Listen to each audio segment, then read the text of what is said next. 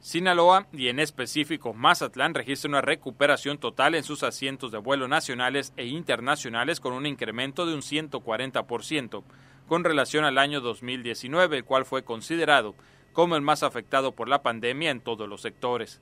La secretaria de Turismo en la entidad, María del Rosario Torres Noriega, dijo que actualmente en la temporada invernal se mantiene una conexión con al menos 10 destinos internacionales.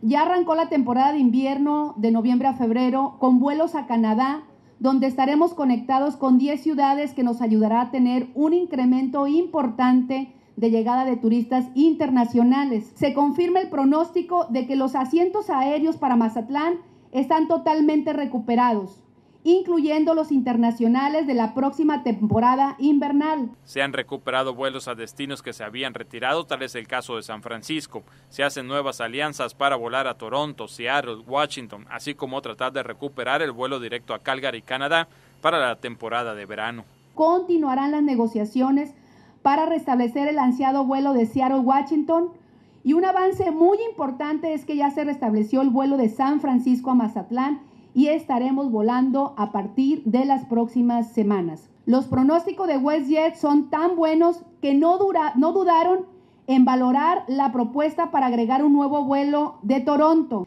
También confirmaron la posibilidad de recuperar el vuelo de Calgary durante verano a partir del 2023. Aunado a los vuelos internacionales, también se trabaja con aerolíneas nacionales para atraer turismo aéreo desde el Bajío, Chihuahua y Ciudad Juárez.